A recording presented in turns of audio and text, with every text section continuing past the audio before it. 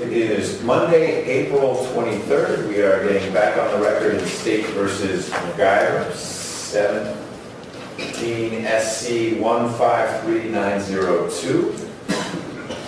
The jurors started deliberations around nine this morning, Deputy Murphy? Yes, sir. Great, round nine. It is 10 minutes to 11, and maybe 10 minutes ago, uh, I had three more questions from the jury uh, brought out to me. I'm going to read them into the record.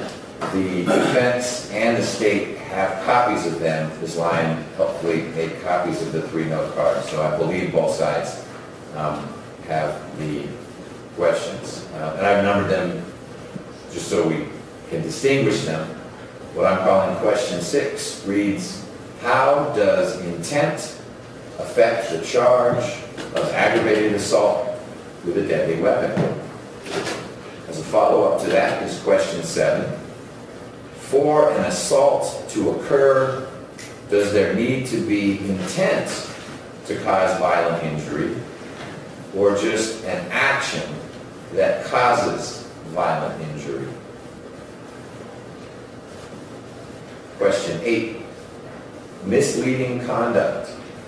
Does this mean the person who is subjected to the offense needs to be tricked into performing an action? Or does it mean that the subject just needs to be asked to do or say something?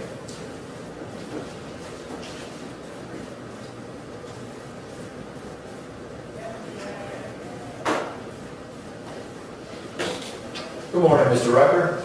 Good morning, Judge. How are you? I'm good. How are you? I'm okay. Uh, Tell me what you think I ought to do in connection with these three questions.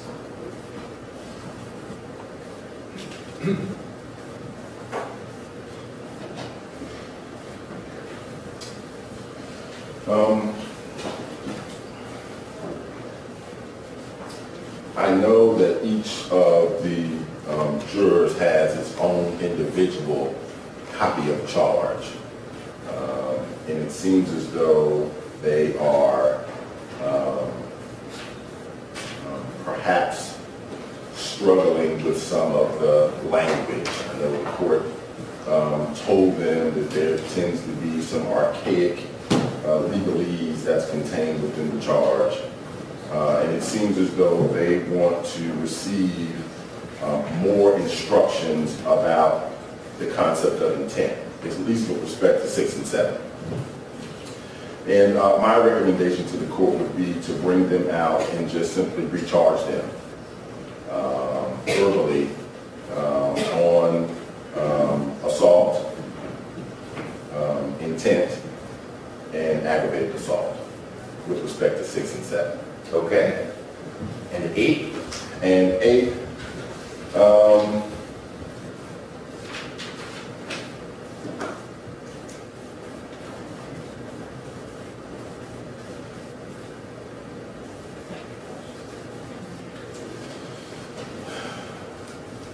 the answer is neither. right, right. And I'm struggling with how the court could perhaps answer that without piercing into the province of what we've kind of asked them to do. Um, And I don't know if simply rereading um, the, the actual indicted charge itself would inform them. Um, If they had added one more word Yeah. to the card, I think I could provide a more meaningful answer. If, Right. if it had ended with, does it mean that the subject just needs to be asked to do or say something misleading or withhold, but it just says say something, uh, or do something, that's what it says. um, So let me hear from Mr. Samuel, and then I'll circle back with Yeah. you. Good morning, Mr. Samuel. I don't entirely disagree with the uh, suggestion with regard to aggravated assault, but I do think you should use, you should start with some plain English, which is that the answer to the question is yes, with or without an exclamation point. Yes, these crimes require intent to commit an assault, not just the doing of an action. So with regard to questions, as you call them, uh, seven and six, or six and seven, um, I would suggest that you, you know, I have a different page numbers from what you gave them. Yeah, So, but your instruction, definition of a crime includes the essential element of intent. At least according to my draft, the very next clause is intent, which begins with intent is an essential element of any crime and must be proved by the state beyond reasonable doubt. And then the next sentence answers their question. Well, no, sorry, next section. Next sentence is criminal intent is not the intent to violate the law, but the intent to commit the act that is prohibited. So I, I- but I think the simple way to answer six and seven is, and are they different? You, you see a difference between six and seven? um, I, I, I do, um, but they're clearly closely related. Um, and it may be, we don't know the chronology of the writing, that they wrote six, which is, how does intent affect it? And they said, wait a minute, that, what does that question mean? Yeah. But, um, they're clearly connect, they're focused on intent, um, in connection with aggravated assault and assault. I mean, they even went deeper down and say, well, wait a minute, aggravated assault is a species of assault. Um, do you have to mean to, what do you have to intend to get there? So I think the answer is you have to intend to commit the assault, you have to intend that it be done with a deadly weapon. You must intend to do that. And then you can either read the charge or say, in this connection, I would suggest that you refer to the instructions as follows. And if you'll give the correct page number and the correct heading. With regard to the question dealing with count five, uh, I'm not sure I agree with your your statement that had they added a word or two, it would have been easy. Maybe so, but I doubt we had the same solution.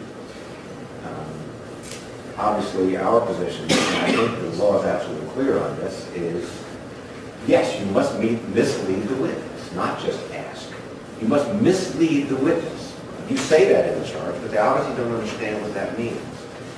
So, or, or they're not they're they're having difficulty with this statute, which we have been all struggling with. Right. And we had suggested in the defendant's original request number three that you elaborate because it is such a confusing statute. And um, so I think what you ought to do is look back at our defendant's exhibit three. I know you thought it was too much. It was any paragraph that begins, in other words, as you said, means that there was something wrong with the previous paragraph. And that may very well be true. But I think what you need to instruct this jury is, one thing's for sure, asking someone to lie is not enough.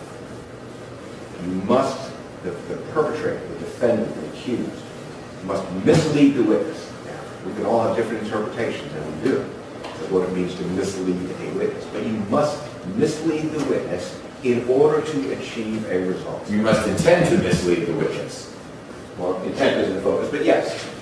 Must attempt to mislead, or intent. Right, well, and and I think we had a good discussion now many, many, many days ago about like, the way this is charged, you can't have an attempt. Um, uh, Either, Because the crime itself is, forget, that's not their question. Right. We don't have to revisit that, that complex problem. But I'm trying to pull up the jury charge here that they have, that's what I'm looking at. it's one, you just read, you just read the statute. That's all you did. No, I, I remember that, I'm trying to pull up the whole charge so Okay. that um, I can decide whether um, they need to come out here, or if I can um, simply say maybe one or two lines in writing and then refer them to certain pages in there, or if they need to come out. So let me look at the charge.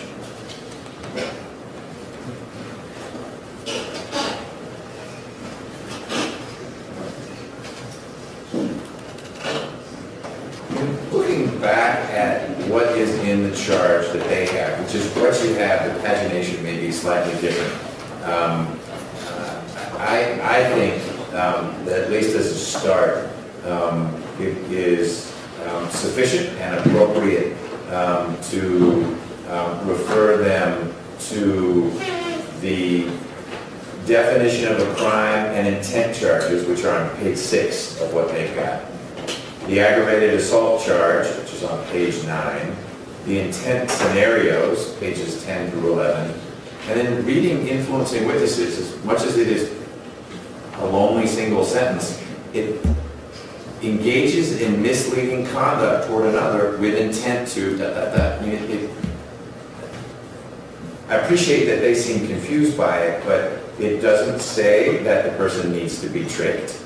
Um, And it certainly doesn't say that the person just needs to be asked to do something. That the gravamen of the offense is that they would need to find that Mr. McIver engaged in misleading conduct towards someone else with this intent that he had. He was trying to keep that someone else from not communicating X, Y, and Z. I think, given the facts of count five, that part is not the complicated part, what he was trying to prevent. It's the first part.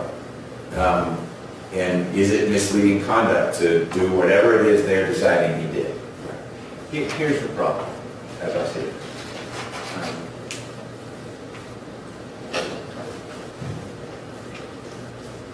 The second half of their sentence says, or does it mean that the subject just needs to be asked to do or say something?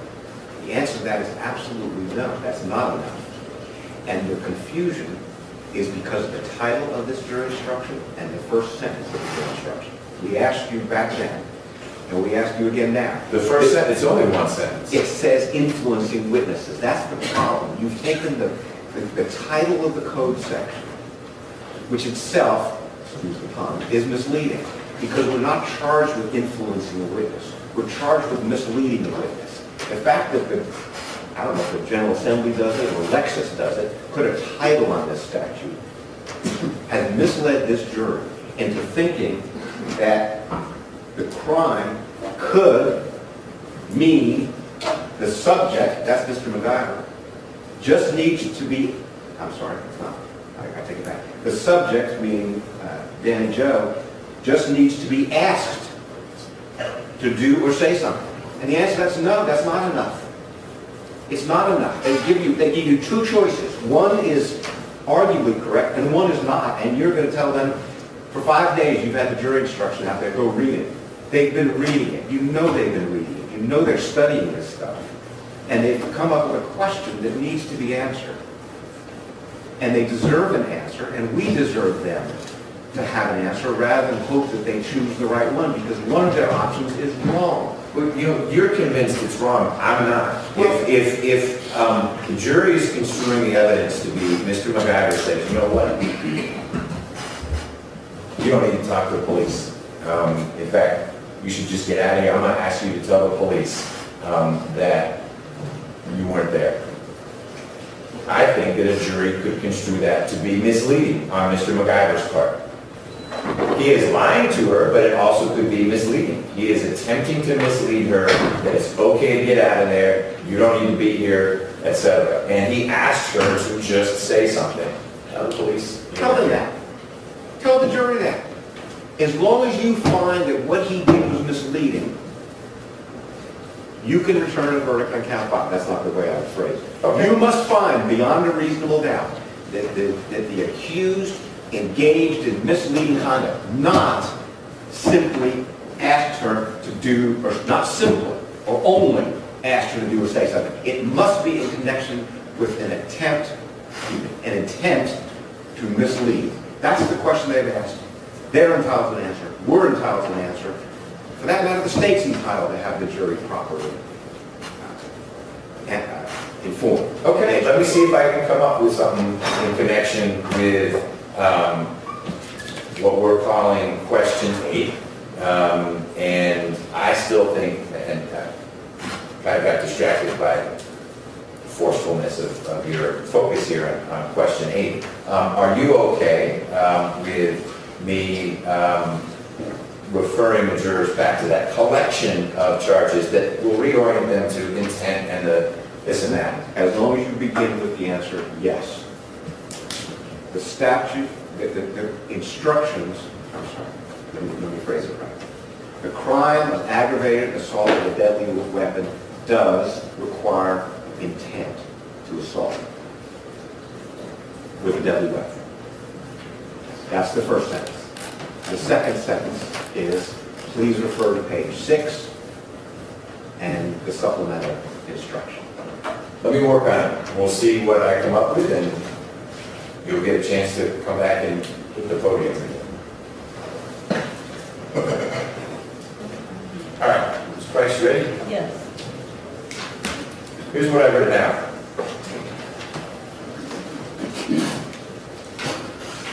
For question seven, I just wrote Q seven.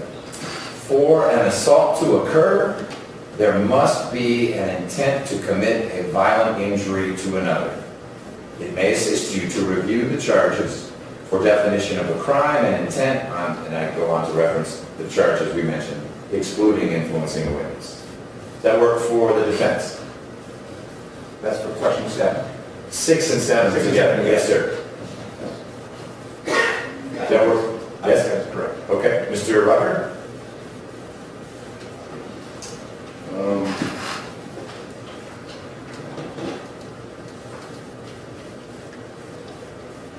And in this case, the assault must be committed by shooting her with a deadly weapon. Well, for an assault to occur, Correct. there must be intent to commit a violent injury to another. I could have added six more sentences about, ah, I have a deadly weapon and this and that, but the question was, and the definition is, an assault, um,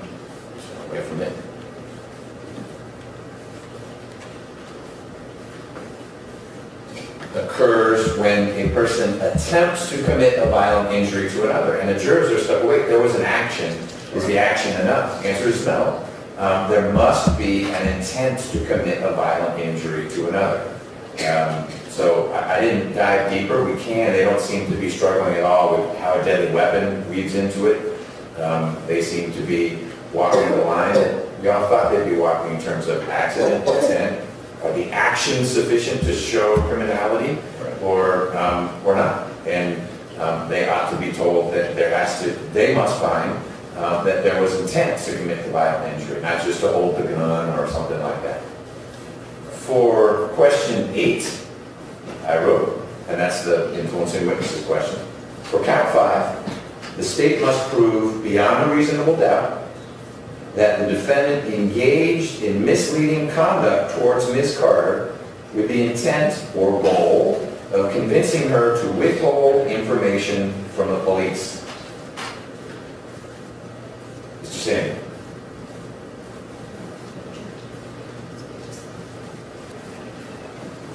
I mean, to Mr. Harvey's point, um, I could add, um, the person doesn't actually need to be tricked into performing an action. I suspect you don't want that in there, but that is answering the question more fully.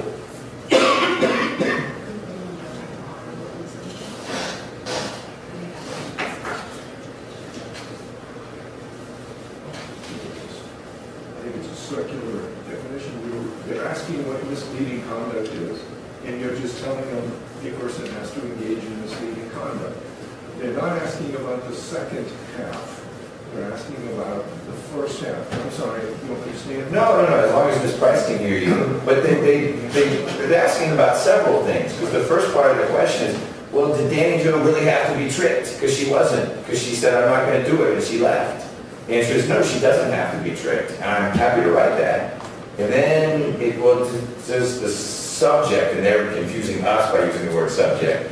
They're, um, is it just that they're, they're asked something? Like, can you attempt it? Or does it have to be effective? Does she actually have to say, okay, I will tell the police I wasn't there? The answer to that is no. I actually think you're misreading the first half of that question, but it's certainly. I think they're asking, does that have to be the goal of the perpetrator? To trick the person into performing an action, as opposed to, does he have to succeed? I- That's what I think they're asking, because it's consistent with the second half of their question. It says, does this mean the person who is subjected to the offense, we're phrasing, needs to be tricked into performing an action? Not successfully, but does there have to be a trick? Okay. That's what they're asking. Or is it enough that the subject just needs to be asked, and I'll fill in the word, to lie? Okay. Um, That, that is a possible read of this. I think the literal read is that does, does the person actually have to be tricked into performing an action? Needs to be tricked into, no, they don't need to be tricked. You're adding the word, at least You- You're helping, by you're helping to define what your interpretation is by adding the word successful. Well, Right, that's, that's what you're thinking they mean. And I don't think that's what they mean. I think they're, they're, they're, they're trying to figure out, get to be tricked. But at any rate, I, I don't think your instruction is bad. I think it would be helpful if we could, I've got two requests. Sure. Get the word influencing out of this. Okay, And, and explain to them that if that's the, if that's the source of your confusion, please look at the instruction and not the title. Okay? That's one thing I would suggest. okay, And second, I would say um, that um, that misleading requires, I- I'm not, I- I'm not sure how to improve it. Just, okay. we we got to send the answer to the General Assembly. They- We do, we do. the other ones, and the United States Congress. I'll stand by you on that one. 1512, that originally drafted this. It's gonna help us with this one. Okay. Um, Judge, in your response on question eight, um, with the court as it is, um, would you just answer that no, period, with your explanation? It- It's a two-part question, and at least one and a half of them, no would be the wrong answer. Well, So I don't think that's a smart idea. I don't need to be responding correctly. no, you don't have to be tricked. Correct. You That's have to intend to trick. That's But two different people, that's the point, is it's two different people. The speaker of the words has to be intending to mislead. Right. The recipient of the words could say, forget it. Right. That's crazy talk. Right. Stop trying to influence me. That's right. And I'm not going to go to the police. I'm not going to lie to the Right. police. Or I will go to the police, whatever. Absolutely, I agree with that. Okay. But, but again, the original encounter must be misleading. No doubt about that. Well, Otherwise, it's coercion, intimidation, threatening, killing, suborning perjury, all those other crimes with which we are not charged. must be an effort to mislead, not that it actually is successful. Correct. Okay, but that, I'm with you on that. I'm with you too. Oh, We'll see. Let me, let me write one more sentence maybe to this.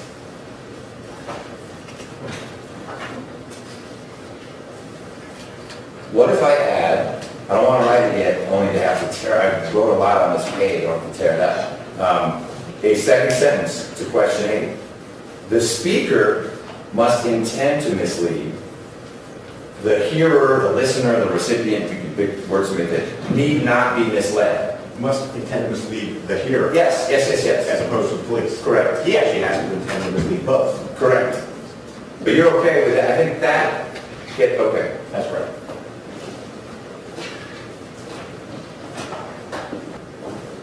All right, um, do you need me to read either answer again? Please. Sure. So in response to questions six and seven, for an assault to occur, there must be an intent to commit a violent injury to another. It may assist you to review the charges or definition of the crime, intent, aggravated assault, and the intent scenarios. And I included page references to the charge that all 12 of them have. Response to question eight, for count five, the state must prove beyond a reasonable doubt that defendant engaged in misleading conduct toward Ms. Carter with the intent or goal of convincing her to withhold information from the police. The speaker must intend to mislead the hearer. The hearer need not actually be misled. Mr. Rucker, go right with that? I'm okay with that. Instead of speaker here, how about let's just say Mr. Defendant and, and Ms. Carter? Mr. McIver and Ms. Carter. Okay, Thank you. sure.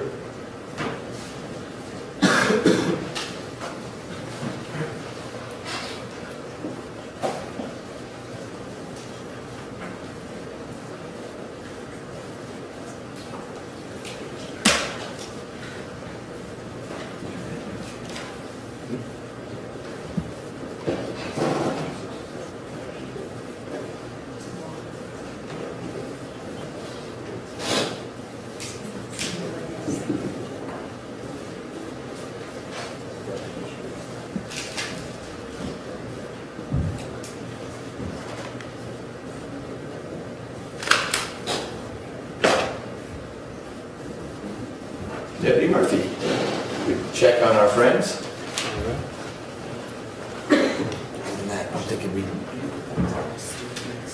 Yes, yeah, yeah, I need that back at some point. Should not destroy it. Thank you. Mr. Rucker, anything else before we transition back to Atlanta Peach Movers versus Mr. Holyfield? No, sir. Okay, Mr. Samuel? Yeah, that's different. not easy.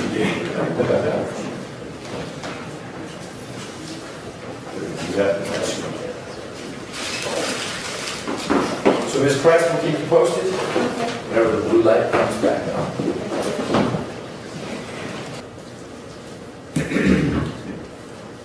You ready, Ms. Price? Yes. We're missing. I can read the question, and then uh, you guys can look at it. Um, I think we're on question nine. We don't see a path to overcome our differences on the defendant's intent related to charges one, two, three, and five. Mr. Rucker, your thoughts about question nine?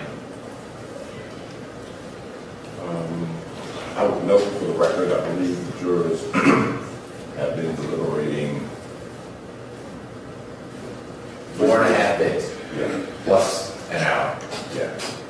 Um, and, uh, the case, uh, took, uh, several weeks to try, many witnesses and many exhibits. Um, I believe they are a conscientious jury. Um, and, um, the court could perhaps consider an Allen charge at this time. I don't know, um, if we have gotten to the place where they are hopelessly um, deadlocked, the fact that they don't see a pathway, I think the court could instruct them to please continue uh, to make attempts and continue to deliberate. I think that would be appropriate.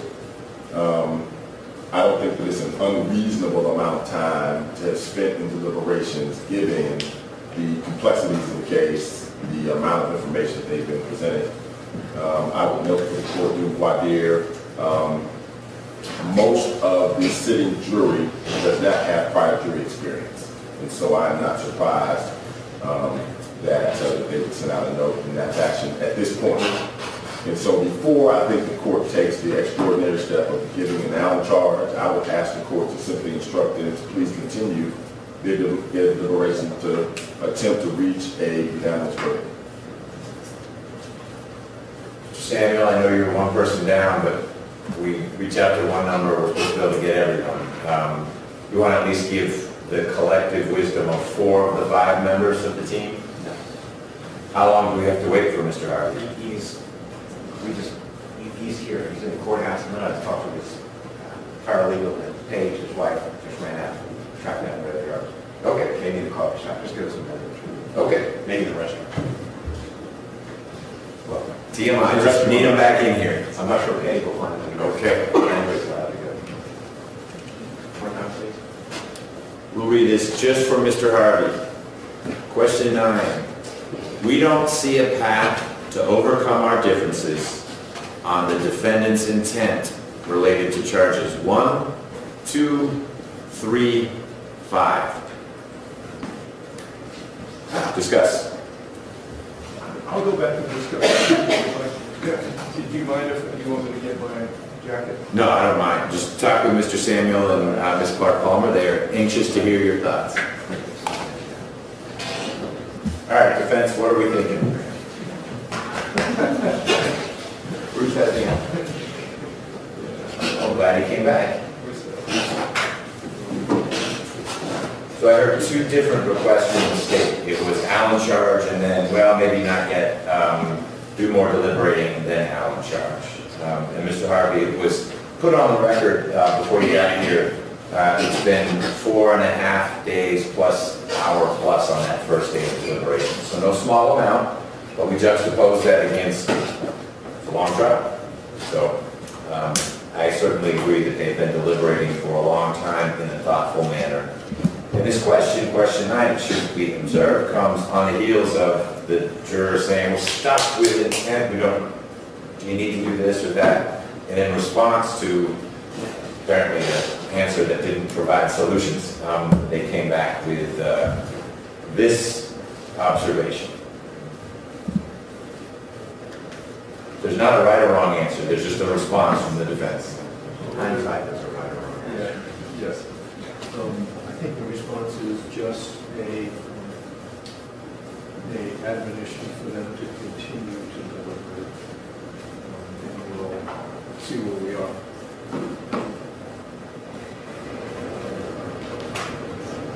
And I I guess the question is how much more do we allow them to deliberate before there are other perhaps motions that need to be considered?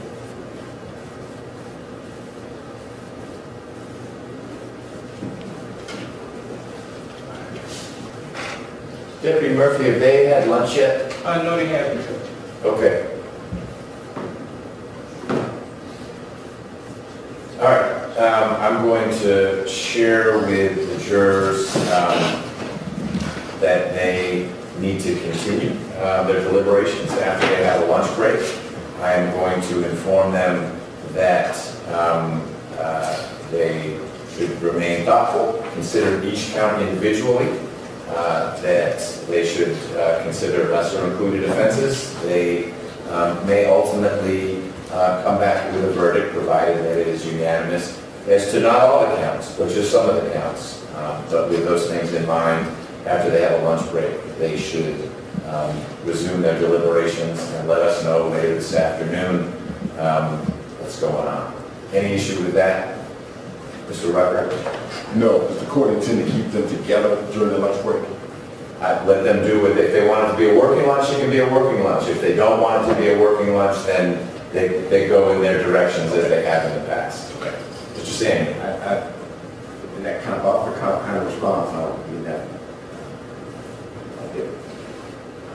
The Allen charge is a very specific charge, it's very carefully calibrated, to balance, to insist on proof beyond a reasonable doubt. I don't know why you start telling them to consider lesser included now, there's no indication that they are anywhere near that kind of discussion. I don't, I don't agree with what you just said. If you're gonna do something other than continue to deliberate, we need to talk about it. Very carefully crafted, balanced Allen charge, which spawns more litigation at this point of trial, and to just kind of wing it, again, I don't mean that to insult anyway, but it's a mistake at this point. It's, it's, it shouldn't be done. So, um,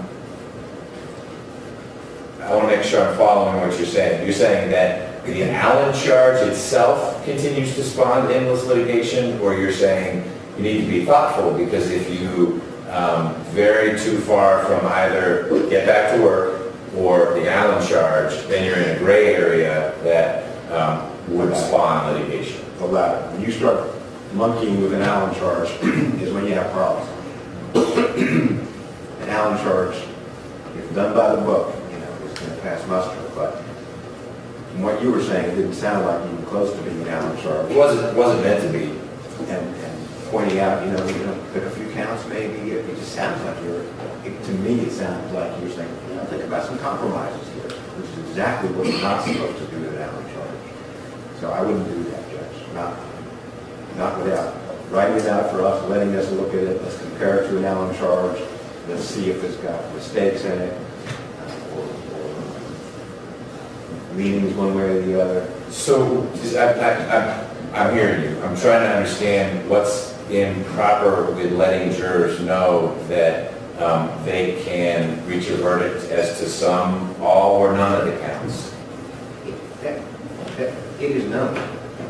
Well, you, you say that. You Well, they said they have a problem with one, two, three, and five. I don't know what four is, how that fits into the mix, but they've already said they can't reach a verdict. Why are you telling them, go ahead and find out one or two of them, or three of them? They've already said they can't.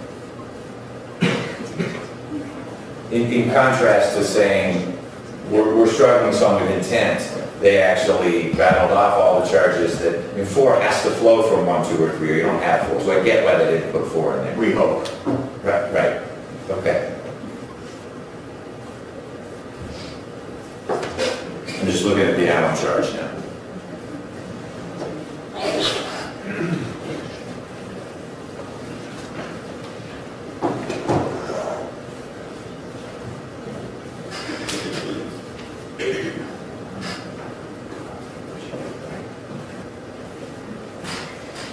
So Mr. Rucker, tell me your thinking as to why um, we don't get to the Allen charge now. I mean, appreciate the graduated approach. This is the first time the jurors are saying we're stuck. Right, It's also after almost five days of deliberating. right. How much, how long do they have to be stuck in your mind? That's not a fair question, but why not give the Allen charge now? Um, well, Judge, you know, uh, you know, there's no crystal ball. We are trying to interpret um, what's happening um, uh, within the jury room. And so, you know, there were um, some questions at the very beginning. We know that the jurors did some work Thursday and Friday. As late as Friday afternoon, they wanted to continue to work, thought they were making progress. They came back this morning with um, questions that seem to indicate we'd like some clarification with respect to intent. Um, It's only been roughly about an hour and 15 minutes or so, maybe even a little bit less, since the court has responded to that last question. And I believe what the court said, um, the, the last note we got says that we don't see a pathway to resolving. And so, um, I, I don't hear that to be, we are hopelessly deadlocked. I hear that to say exactly what it says. We don't see a pathway. And as I've stated to the court earlier, uh, I don't believe these are jurors who have a great deal of prior jury service to understand um, the application perhaps of facts to um, law in order to come to conclusions. And so before we got to the Allen charge, and as much as this is the first indication we have that there is an inability to kind of resolve some of the counts in the indictment, my suggestion was to encourage them to continue to deliberate, perhaps after coming back from lunch. I need to correct one thing, not that you said, but that I've been saying, uh, another proof that I am bad at. They've been deliberating for three and a half days. I had sort of fantasized that actually you guys did closings on Monday, but of course. Tuesday. Right, Tuesday was closings, so they had a little bit of time on Tuesday to deliberate. It was all day Wednesday, Thursday, Friday, right, half a day today. So three and a half days, still a long time. Um, but that's less than a day per week of trial. I don't know that that's the ratio, but uh, um, it's three and a half, almost three three quarters days now that they've been deliberating. Mr. Samuel, anything else, or or Mr. Harvey, or Mr. Falconer, you want to add? No? I think what we've already. Okay.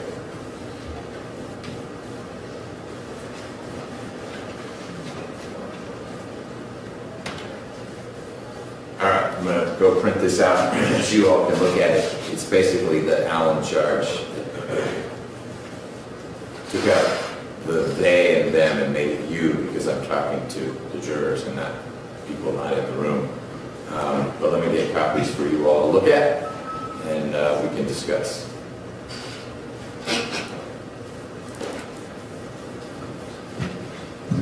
You go, Ms. Lamb.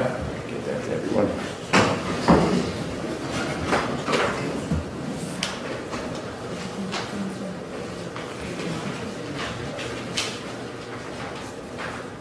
Mr. Rucker, have you had a chance to look at the language of the proposed charge? You're still looking at it? I, I looked at it, I was looking at Allen, but yes, I've seen it. I- Back in the day, I thought it said something along the lines of, hey, there's no reason to think you want the best jurors ever, and so why should we think the next jury would do any better? It's not in there, I didn't add it, I of thought that was kind of warm, fuzzy, uplifting language, but apparently someone didn't like it and- and warned out. Eleventh Circuit. You're thinking of the Eleventh Circuit pattern. Oh, that is the 11th Circuit where they uplift the jurors and empower them, okay. Well, I said over your other 11th Circuit stuff, so um, that's not where we are. Uh, Mr. Samuel, did you have a chance to um, look at this, and do you have uh, any concerns? Uh, We have some concerns. Okay?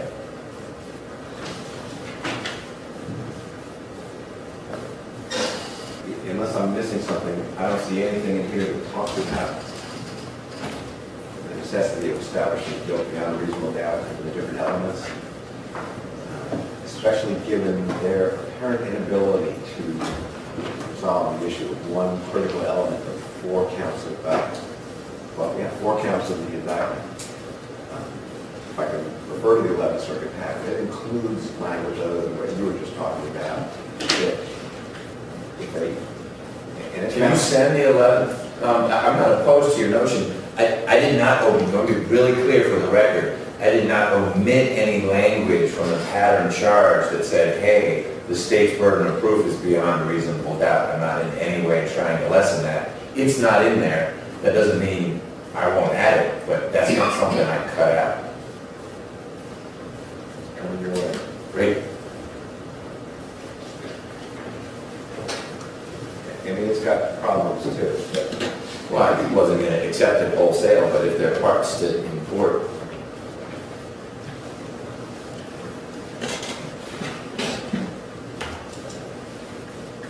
talks about the, and it is coming.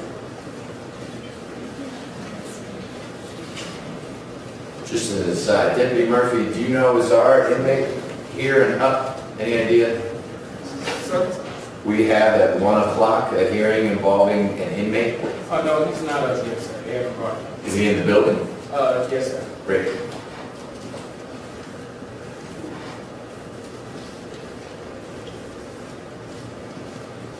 You it? Nope, I got something, um, maybe Ms. Lyon got it and she's sending it to me. We'll see. Oh, here it is. Great. Got it.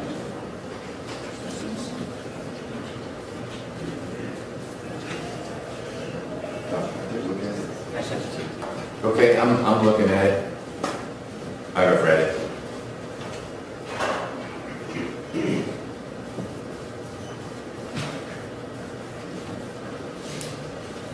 Maybe what I'll do is um, pull a few parts of it uh, out. um, But I've also just looked at a Supreme Court opinion, Burchett, that says, don't say there's not going to be a better jury out there. Um, So all those uplifting things, even though they sound uplifting, um, my boss's boss has said, don't do that. Yeah. So um, I can't um, put that in. But um, for example, you must also remember that if the evidence fails to establish guilt beyond a reasonable doubt, the defendant must have your unanimous verdict of not guilty. Something like that probably ought to be in there. I think so. Let me kludge the two together.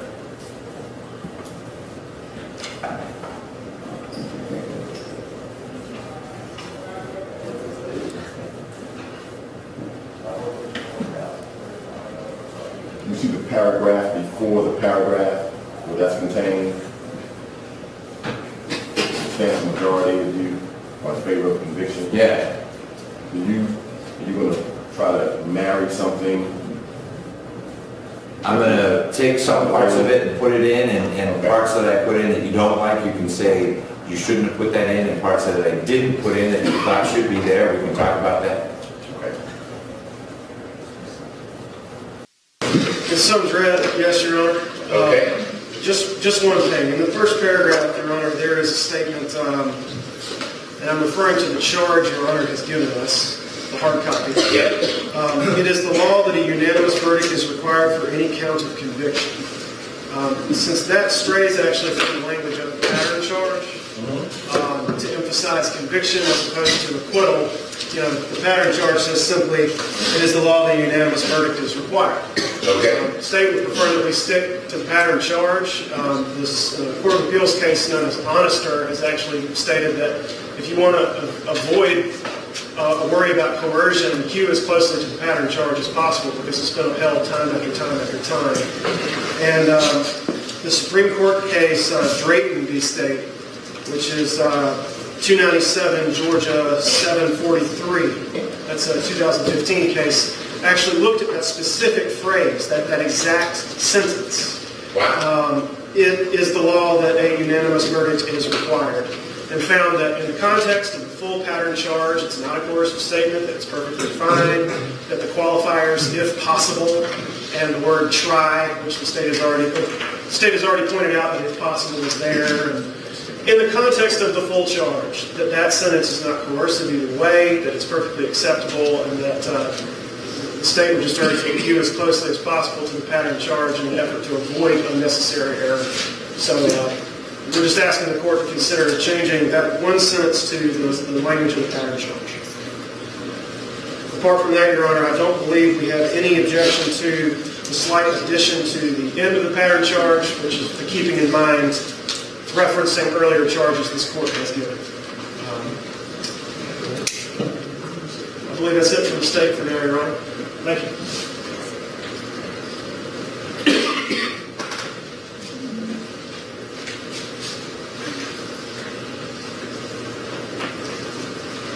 Okay. Who will be speaking for the defense as to whether there's anything that should be added or subtracted from what I'm going to share with the jurors when they emerge? Are they back, Deputy Murphy? Yes, sir. Are our jurors back? Uh, there was, there wasn't, not all of them when I stepped away from. Okay. If you don't mind checking, that'd be great.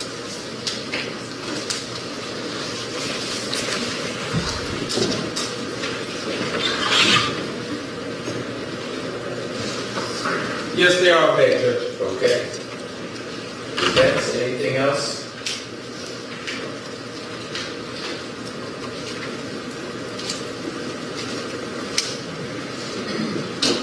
If not, we unfortunately didn't come up with any brilliant ideas over this 45-minute break. But we had, the problem actually is that we had many of them, but they were divergent. So Okay. Um, Ms. Lyon did point me um, uh, towards uh, a case in which, the case is Romine, R-O-M-I-N-E, in which the judge used the ABA version of an Allen charge, and I got the text of that, at least that which was used in Romine. It's not all that different, it's not worth even diving into it. It didn't have a magic formulation that the Georgia Supreme Court has said, okay, is okay, that I thought would get us to it.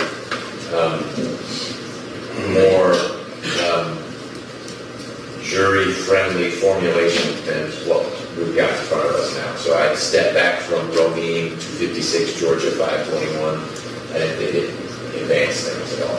That was all I came up with. the only thing I saw in Romine that we liked was no juror should surrender an honest, I'm sorry. Okay. I'm sorry, no juror should surrender an honest conviction as to the weight or effective evidence merely solely because of the opinion of other jurors.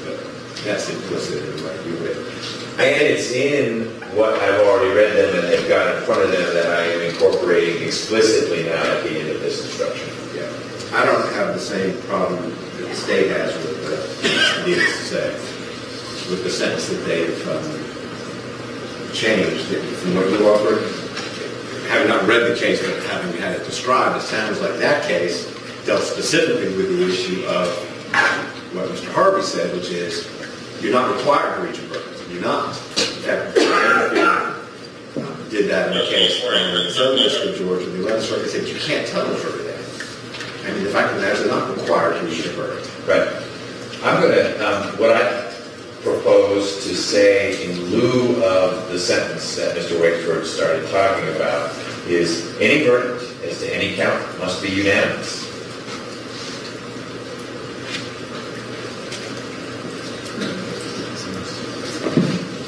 That's an accurate statement of law. I believe it is too. Um, And you all, do you need me to read again what comes after the comma, after the word verdict at the very end, or have I read it enough times that you're okay with it? State, Keeping in mind the charges I have previously given you as to verdict proof, elements of the crimes charged, and other matters, substantially that. that, that's like ninety-eight percent of it, no other words, I think I use singular rather than plural on one of them. Not the requirement of proof beyond reasonable doubt. Well, I say burden of proof. I think that that is sufficiently um, reflective of one of the points they um, have heard many times, um, that is central to the charge that I am reincorporating with that last clause. Let's bring these 12 jurors out, please.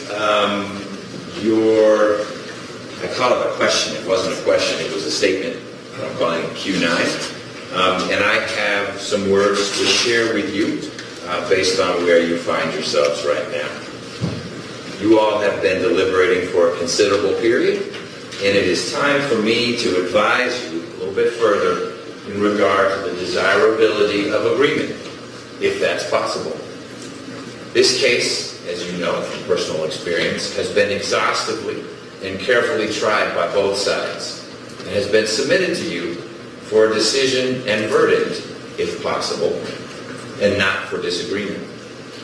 Any verdict as to any count must, of course, be unanimous.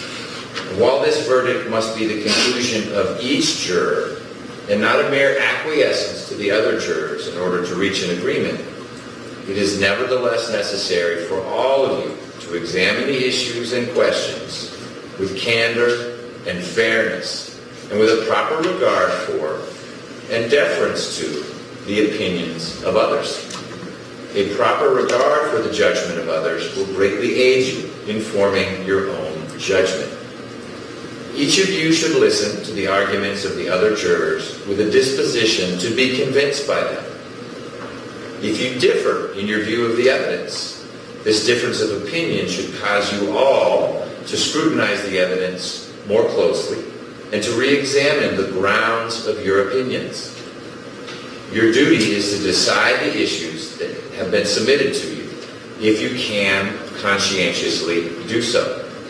In conferring, you should lay aside all mere pride of opinion and should bear in mind that the jury room is no place for taking up and maintaining in a spirit of controversy either side of a cause. You should bear in mind at all times that as jurors, you are not to be advocates for one side or the other. You should keep in mind the truth as it appears from the evidence, examined in the light of the instructions I've given you. In a moment, you will return to the jury room for as much time as you need to examine your differences in a spirit of fairness and candor and to try again to arrive at a verdict, keeping in mind the charge that I have previously given you concerning the burden of proof, the elements of the crimes charged, and other matters. Thank you. All rise for the jurors.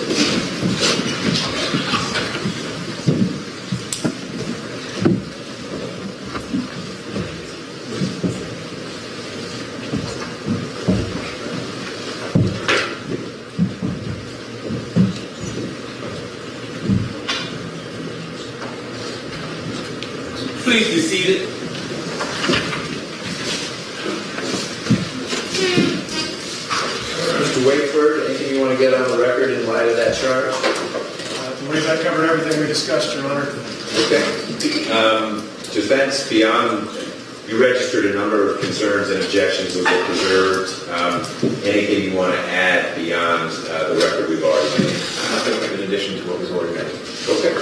Um, Then you all can at ease, or whatever the right term would be as we wait. Uh, At 3 o'clock, I have another hearing um, involving a prominent Brazilian city sports day. So we had East Cobb Baseball, Evander Holyfield, and uh, at 3 we've got a gentleman um, by the name of Roberto Traven. And if you are into Brazilian Jiu-Jitsu, you know who this guy is. I am not, so I didn't until we had our earlier hearings. Um, he is the man when it comes to Brazilian Jiu-Jitsu. Um, and um, we've got some motions we need to work through at three in that case. Whatever we're doing in that case, we'll pause when the blue light goes on. Um, But we're going to leave the jurors alone for the time being to see what, if anything, happens in light of my instruction to them. Thanks for your patience. Did they ever say how late they want to stay today, or they didn't realize that uh, I didn't ask him, so I, I don't know. Um, I will certainly have Deputy Murphy check on that baby um, soon enough. Thank you, and thank you, Ms. Price, we'll let you know what's next.